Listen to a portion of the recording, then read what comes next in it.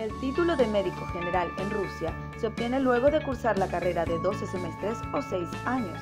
Luego de recibirlo, se puede cursar hasta 90 especialidades médicas. ¿Se puede realizar una especialidad médica en Rusia con un título de obstetra? Para realizar cualquier tipo de especialidad médica en Rusia, es necesario contar con un título de médico general. Cursar las carreras de obstetra, pediatría o enfermería, entre otras, no será suficiente para el posgrado médico. El sistema de educación universitario es muy estricto en los requisitos necesarios para realizar estudios en sus diversas áreas, pero en el caso específico de la salud son aún más cuidadosos de los pasos necesarios. El título de médico general en Rusia se obtiene luego de cursar la carrera de 12 semestres o 6 años.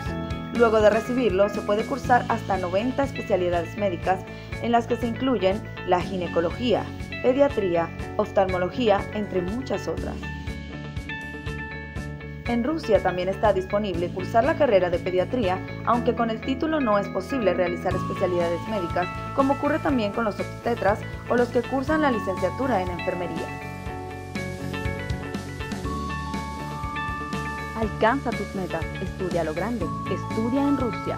Si te gustó este video, comenta, dale like y compártelo con tus amigos. Ah, y por supuesto, suscríbete.